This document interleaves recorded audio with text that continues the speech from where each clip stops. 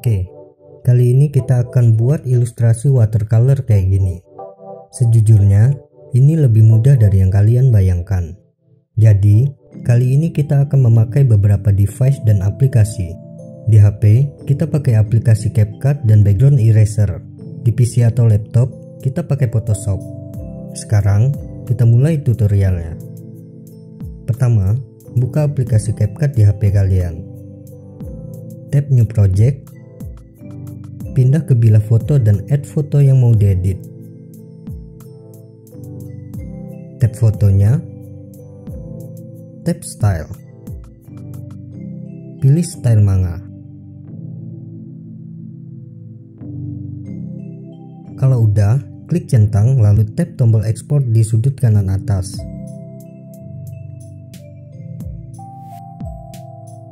Tap done. Buka video yang baru kita ekspor. Nah, ini kita screenshot ya.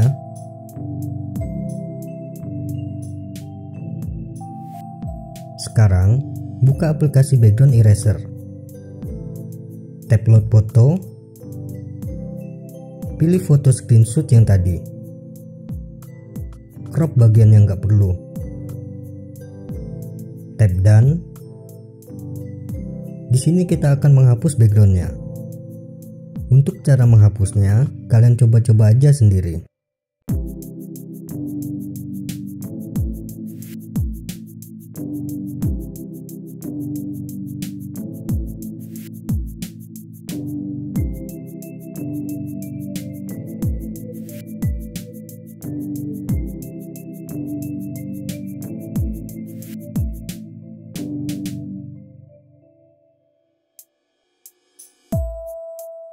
Kalau udah bersih, tap done. Di sini, kalian bisa pilih smoothnya sesuai kebutuhan kalian. Tap save. Tap finish. Foto yang udah kita hapus backgroundnya tadi, kita kirim ke PC atau laptop. Terserah kalian mau kirim lewat Google Drive, WhatsApp, ataupun kabel data. Foto yang udah masuk ke PC atau laptop ini langsung kita masukin ke Photoshop. Di sini aku pakai Photoshop CS6. Tambahkan solid color biar kita gampang ngecek bagian yang belum kehapus. Aku hapus bagian ini dulu ya.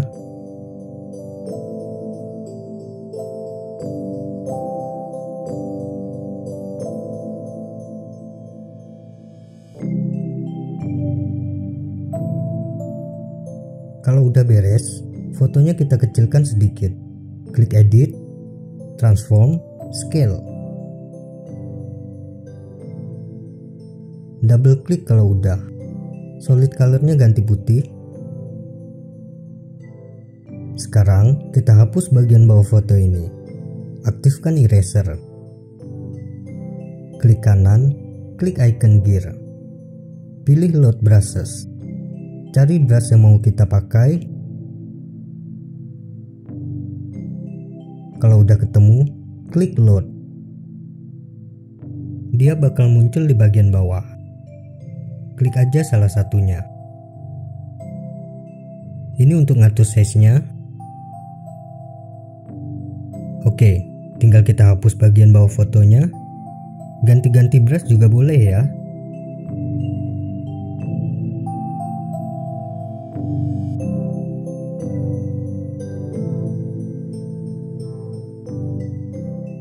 Hapus-hapusnya udah selesai sekarang aku mau kecilkan fotonya sedikit.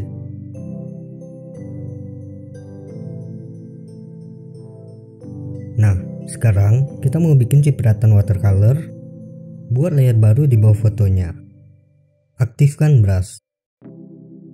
Pilih salah satu brush watercolor kita akan ambil sampel warna dari pakaiannya. Pakai tools ini ya lalu klik di fotonya Oke, sekarang kita siap memberi cipratan.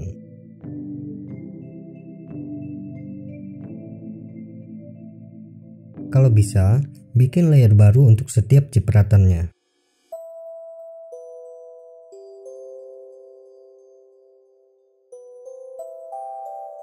Bisa juga kasih variasi warna di rambutnya.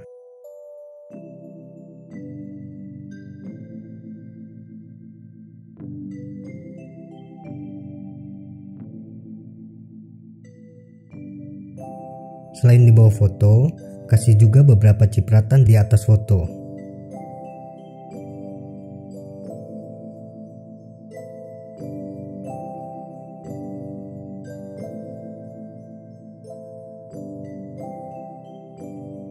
Ini mau kuhapus pakai eraser yang standar aja.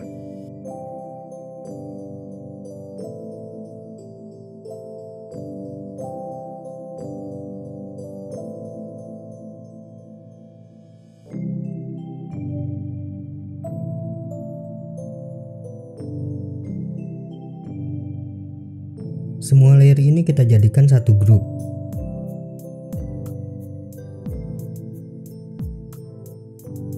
Terus, bisa kita kecilkan secara bersamaan. Kita kasih tulisan biar makin cantik. Aktifkan type tool. Di sini, pilih font yang mau dipakai. Di sini kalau mau ngubah ukuran fontnya. Tulisannya kasih warna putih ya.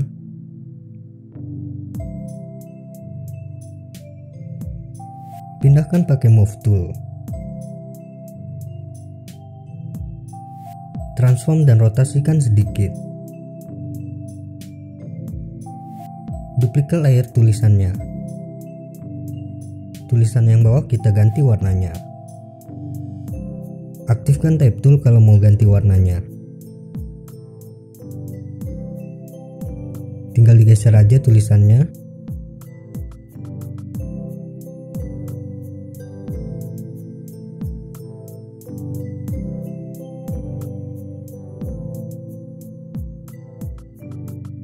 Kalau mau cropping kanvasnya, pakai tools yang ini.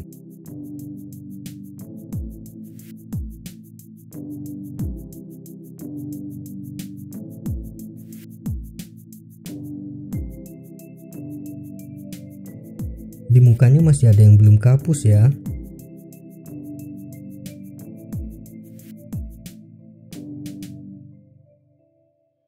Kalau udah, klik Save As. Ganti formatnya jadi JPEG. Di sini kalau mau ganti lokasi penyimpanannya, klik Save, klik OK.